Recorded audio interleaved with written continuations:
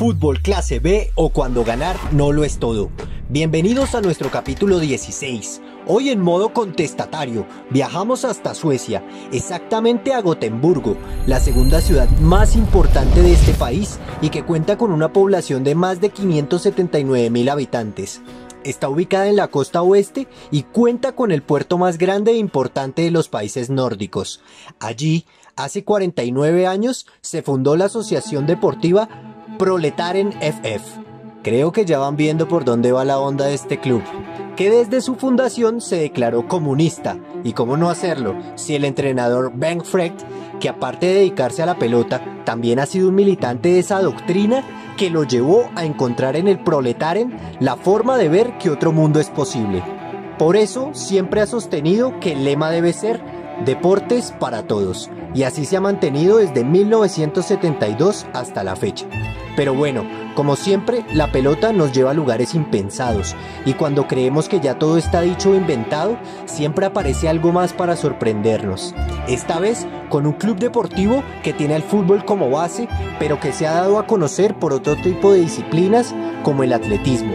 Pues desde 1985 organizan el Fred Sloppet o en nuestro idioma algo así como una carrera por la paz. Este es el reflejo más puro del por qué somos fútbol clase B, donde los resultados y los títulos no nos interesan lo que buscamos es conocer todas esas historias de resistencia a través de la pelota, del deporte, de ver cómo una pasión nos lleva a conseguir cosas que se quedan en el alma, en lo intangible. Sí, aquí seguimos siendo románticos con la número 5 y lo que pasa alrededor de ella, las estadísticas precisas, las curvas de rendimiento y los goles de la temporada, se las dejamos al Big Data. Ahora sí, nos vamos para la cancha, para la pista, para la calle, para donde el proletaren sigue fiel a su lema, deportes para todos. Pues el club no solo se dedica al fútbol, también hay espacio para la lucha y el atletismo. Antes había balonmano y otras disciplinas. El color del uniforme, por supuesto, es rojo de local y amarillo de visitante.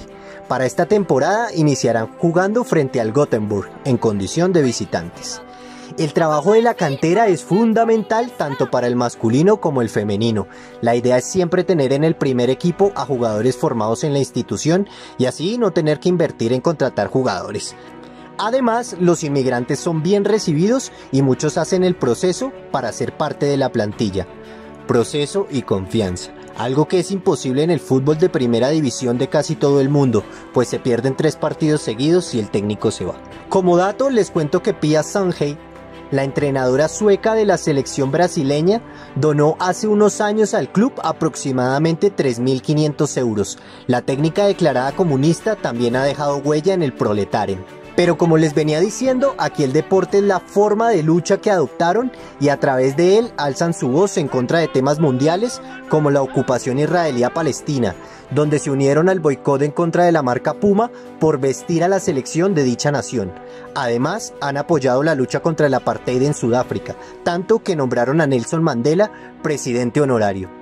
Esta vez no solo el fútbol, sino el deporte y la unión nos demuestran que para conseguir los sueños no basta solo con desearlos, hay que organizarlos, encontrarnos, conocernos y seguir demostrando que a partir de la solidaridad podemos construir un lugar mejor para ser felices, cada uno desde el lugar que se sienta más cómodo y sin duda donde pueda aportar.